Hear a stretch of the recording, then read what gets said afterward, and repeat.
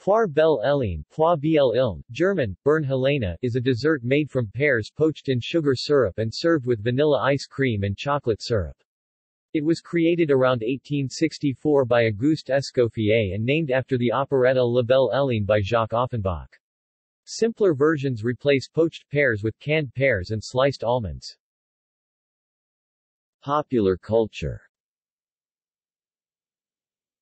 in the film Pappa ante Portas by Loriot, the main character and his wife keep arguing about the ingredients of a genuine Poire Belle Hélène.